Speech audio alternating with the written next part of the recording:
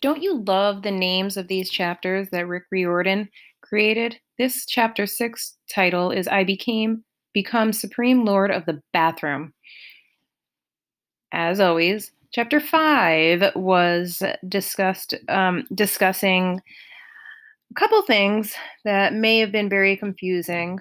Percy had his first time walking around and getting to know people at Camp Half Blood. Chiron was his little sidekick in that regard. He was teaching him certain things, he was like a mentor.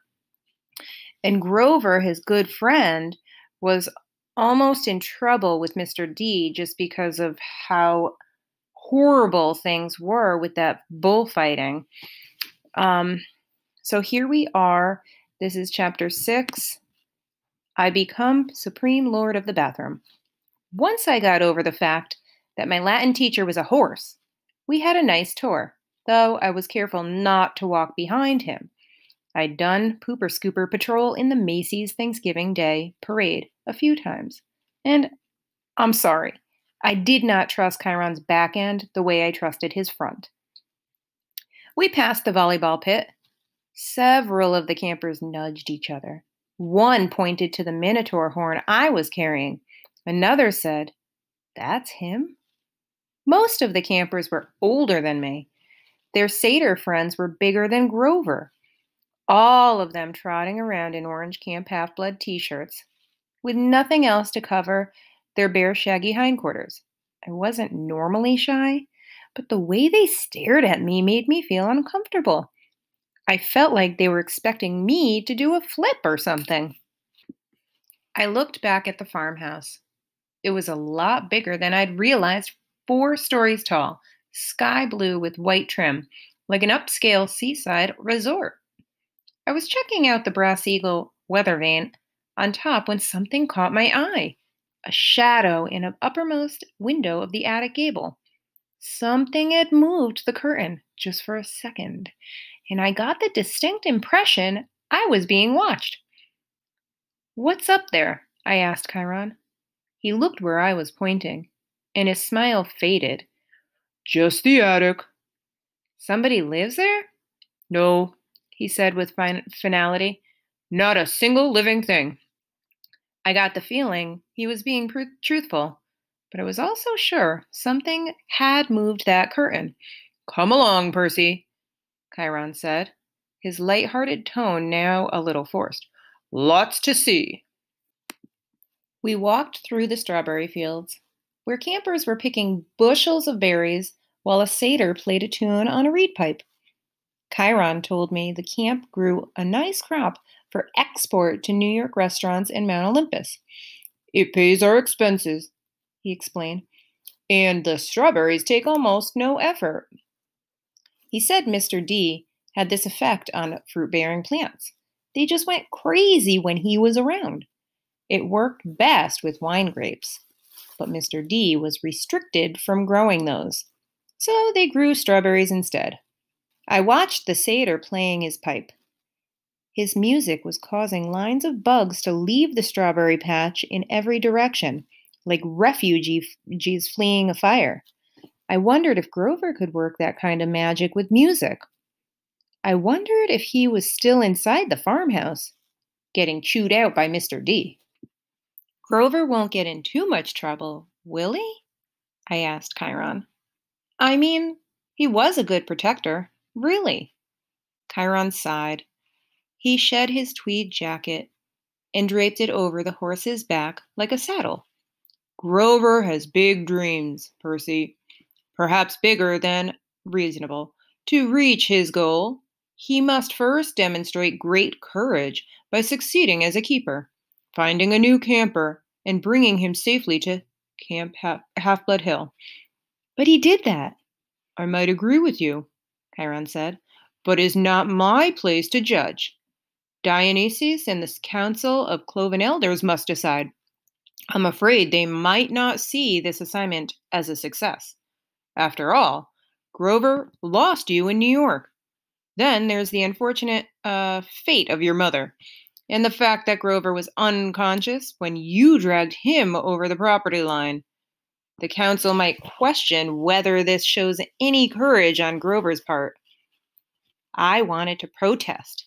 None of what happened was Grover's fault. I also felt really, really guilty.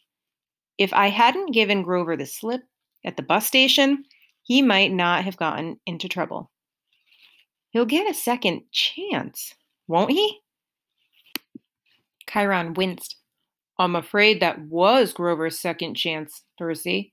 The council was not anxious to give him another, either, after what happened the first time, five years ago. Olympus knows. I advised him to wait longer before trying again. He's still so small for his age. How old is he? Oh, 28. What? And he's in sixth grade? Satyrs mature half as fast as humans, Percy. Grover has been the equivalent of a middle school student for the past six years. Imagine that, spending double the amount of time as a middle school student. Now, there's another situation coming up where Percy asks a question over here, and Chiron looks away and purposely does not answer. Anyway, Percy's response about Grover's age of 28 and being in sixth grade for six years is this That's horrible. Quite, Chiron agreed. At any rate, Grover is a late bloomer, even by satyr standards, and not yet very accomplished at woodland magic. Alas, he was anxious to pursue his dream. Perhaps now he will find some other career that's not fair, I said. What happened the first time? Was it really so bad? Chiron looked away quickly. Let's move along, shall we? But I wasn't quite ready to let the subject drop. Something had occurred to me when Chiron talked about my mother's fate, as if he were intentionally avoiding the word death. The beginnings of an idea, a tiny, hopeful fire starting, started forming in my mind. Chiron, I said, if the gods in Olympus and all that are real, yes, child, does that mean the underworld is real too? Chiron's expression darkened. Yes, child. He paused, as if choosing his words carefully. There is a place where spirits go after death. But for now, until we know more, I would urge you to put that out of your mind. What do you mean? Until we know more. Come, Percy, let's see the woods. As we got closer, I realized how huge the forest was. It took up at least a quarter of the valley, with trees so tall and thick you could imagine nobody had been in there since the Native Americans. Chiron said, The woods are stocked. If you care to try your luck, but go armed. Stocked with what? I asked. Armed with what? You'll see. Capture the flag is Friday night. Do you have your own sword and shield? My own? No, Chiron said. I don't suppose you do. I think a size five will do. I'll visit the armory later. I wanted to ask what kind of summer camp had an armory, but there was too much else to think about. So the tour continued we saw the archery range, the canoeing lake, the stables, which Chiron didn't seem to like very much, the javelin range, the sing along amphitheater, and the arena where Chiron said they held sword and spear fights. Sword and spear fights? I asked. Cabin challenges and all that, he explained. Not lethal, usually. Oh, yes. And there's the mess hall. This summer camp sounds very adventurous. And he's explaining the mess hall, which is where everybody eats. Chiron pointed to an outdoor pavilion framed in white Grecian columns on a hill overlooking the sea. There were a dozen stone picnic tables. No roof, no walls. What do you do when it rains? I asked. Chiron looked at me as if I've gone a little weird. We still have to eat, don't we? I decided to drop the subject. Finally, he showed me the cabins. There were 12 of them, nestled, nestled in the woods by the lake. They were arranged in a U, with the base with two at the base and five in a row on either side. And they were without doubt the most bizarre collection of buildings I'd ever seen, except for the fact that each had a large brass number above the door odds on the left side, evens on the right. They looked absolutely nothing alike. Number nine had smokestacks like a tiny factory. Number four had tomato vines on the walls and a roof made out of real grass. Seven seemed to be made of solid gold, which gleamed so much in the sunlight it was almost impossible to look at. They all faced a commons area about the size of a soccer field, dotted with Greek statues, fountains, flower beds, and a couple of basketball hoops, which were more my speed. In the center of the field was a huge stone lined fire pit. Even though it was a warm afternoon, the hearth smoldered. A girl, about nine years old, was tending to the flames, poking the coals with a stick. The pair of cabins at the head of the field, numbers one and two, looked like his and hers mausoleums. Big white marble boxes with heavy columns in front. Cabin one was the biggest and bulkiest of the twelve. Its polished bronze doors shimmered like a hologram, so that it, from different angles, lightning bolts seemed to streak across them.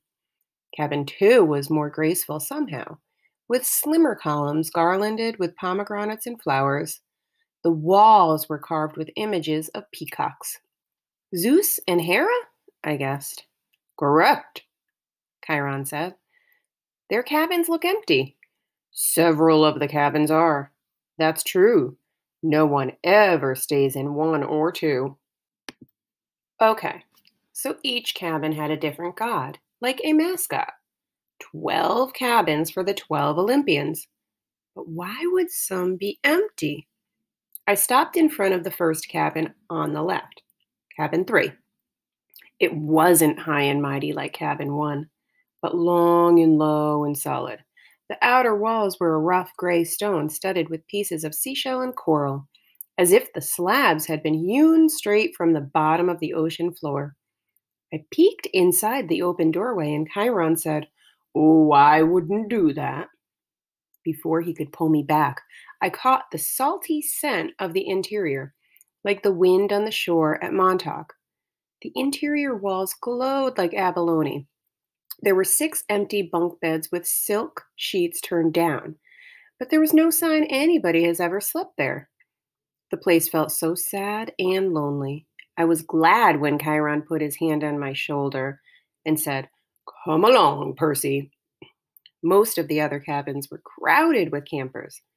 Number five was bright red, nasty paint job, as if the color had been splashed on with buckets and fists. The roof was lined with barbed wire. A stuffed wild boar's head hung over the doorway, and its eyes seemed to follow me. Inside, I could see a bunch of mean looking kids, both girls and boys, arm wrestling and arguing with each other while rock music blared. The loudest girl was maybe 13 or 14. She wore a size extra, extra, extra large Camp Half Blood t shirt under a camouflage jacket.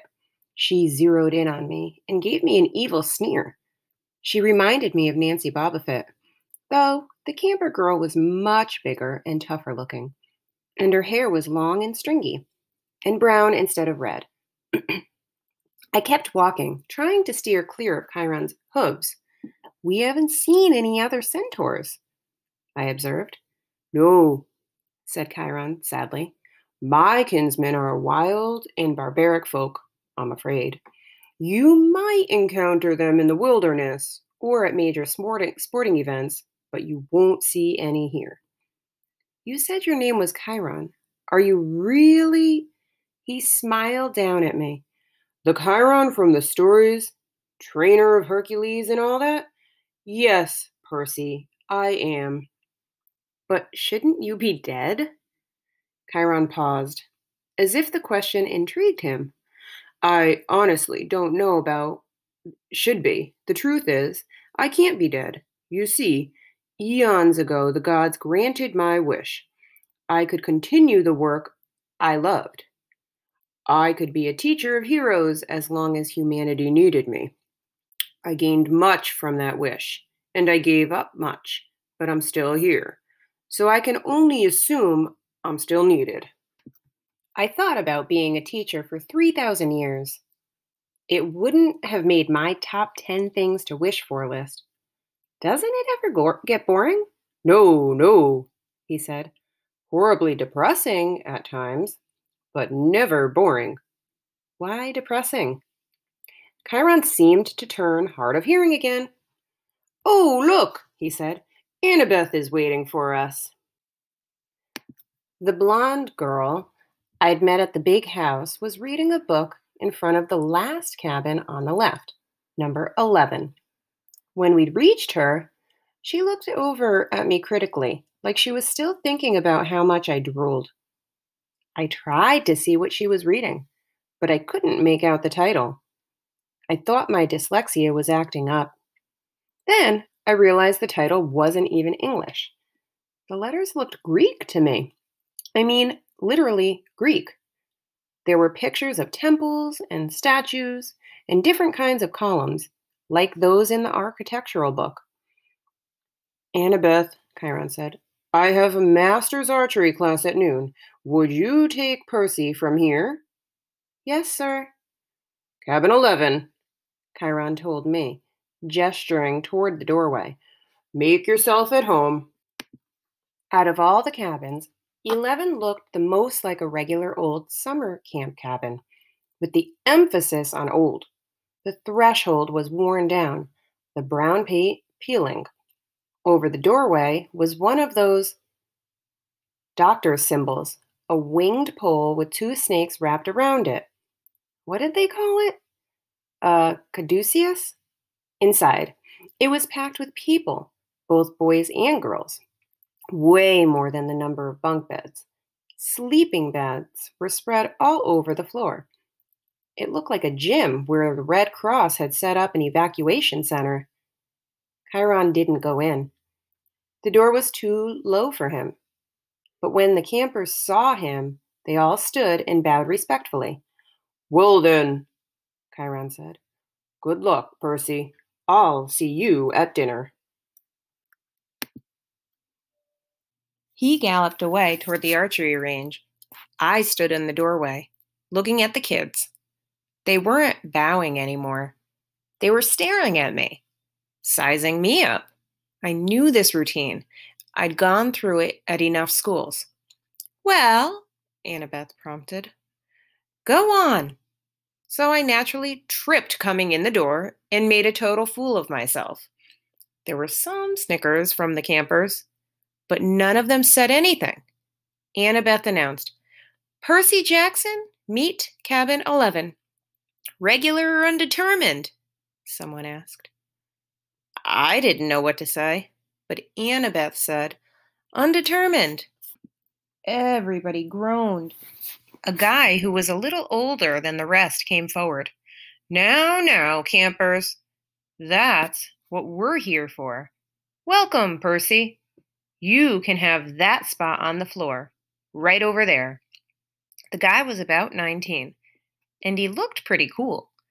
He was tall and muscular, with short cropped sandy hair and a friendly smile. He wore an orange tank top, cutoffs, sandals, and a leather necklace with five different colored clay beads. The only thing unsettling about his appearance was a thick white scar that ran from just beneath his right eye to his jaw, like an old knife slash. This is Luke, Annabeth said, and her voice sounded different somehow. I glanced over and couldn't could have sworn she was blushing. She saw me looking, and her expression hardened again. He's your counselor for now. For now? I asked. You're undetermined, Luke explained patiently. They don't know what cabin to put you in, so you're here.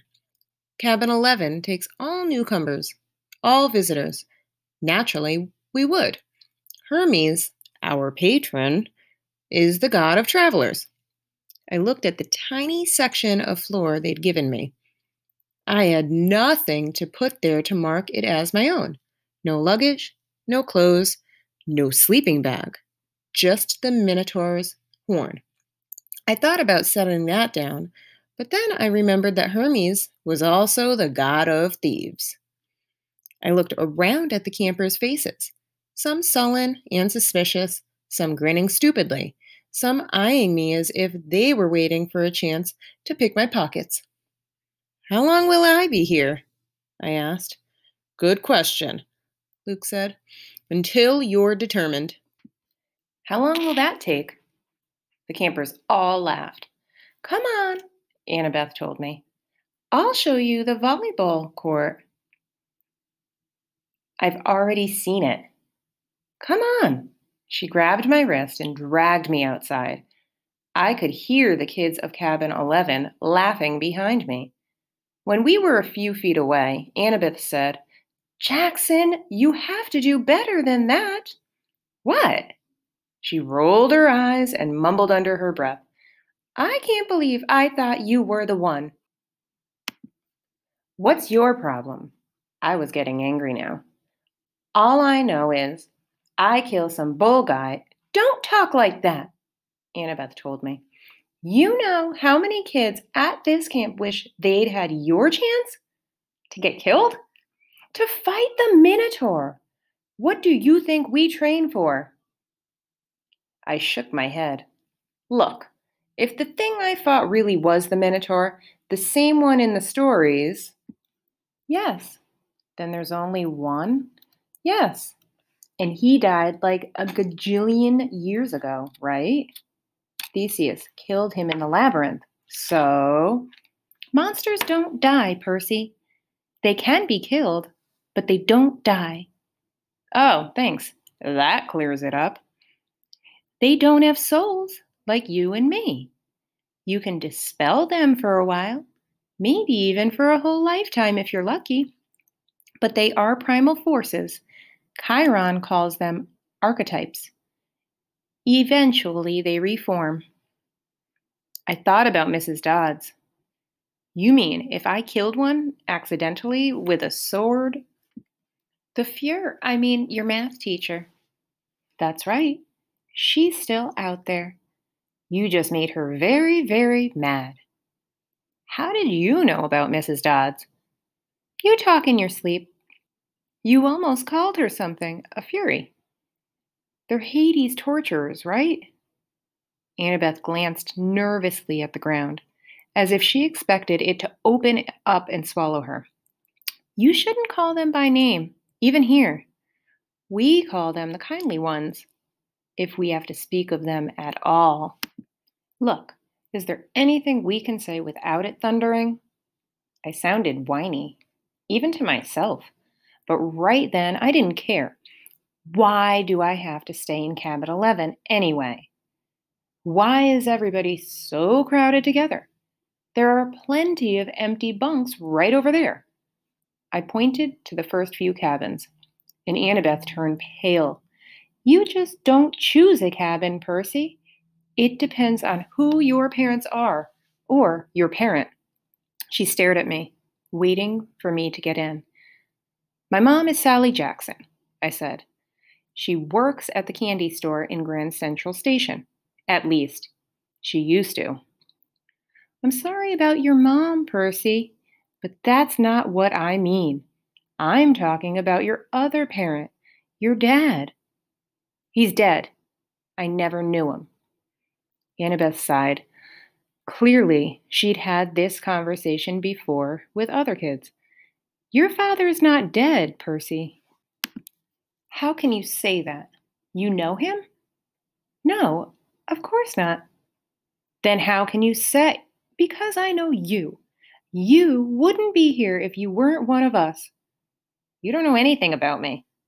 No? She raised an eyebrow. I bet you moved around from school to school. I bet you were kicked out of a lot of them. This is going to be a very touching moment between Annabeth and Percy. They are actually talking about some similar problems that they had, and Percy is po- probably thinking, uh, you know, how does this happen? Why? But let's read on to hear more. How? Diagnosed with dyslexia. Probably ADHD too. I tried to swallow my embarrassment. What does that have to do with anything? Taken together, it's almost a sure sign. The letters float off the page when you read, right? That's because your mind is hardwired for ancient Greek. And the ADHD, you're impulsive. Can't sit still in the classroom. That's your battlefield reflexes. In a real fight, they'd keep you alive.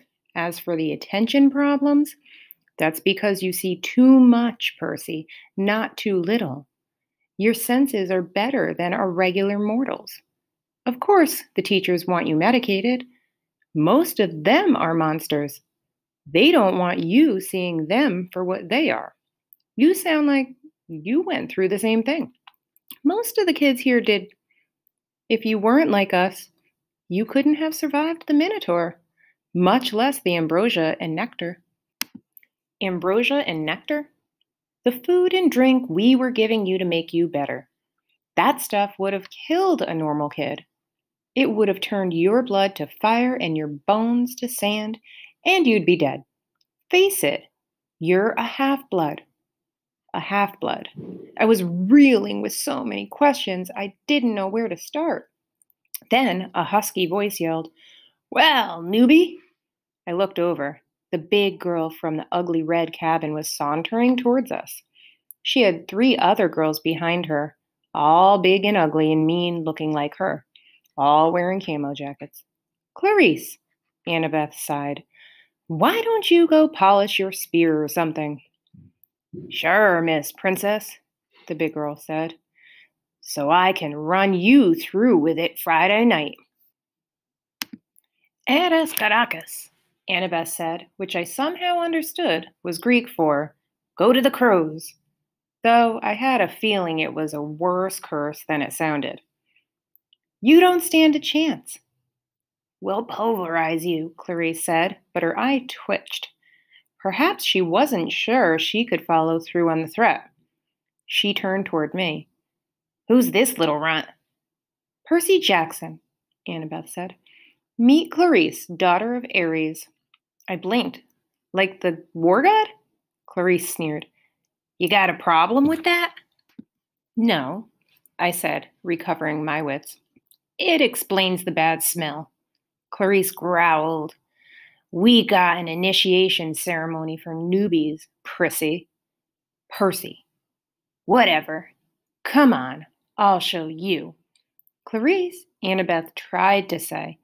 Stay out of it, wise girl. Annabeth looked pained, but she did stay out of it, and I didn't really want her help.